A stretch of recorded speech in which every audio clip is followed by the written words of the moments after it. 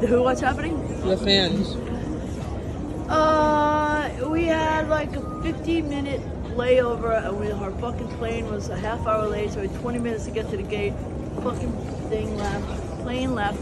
Now we're all down trying to look for our bags so we can get a second flight at 5 o'clock, otherwise, the next one's at 11 o'clock. But we're near a Joe the Juice and a fucking hot dog stand and a fucking. Uh, Shout out Joe the Juice. I just had two green juices.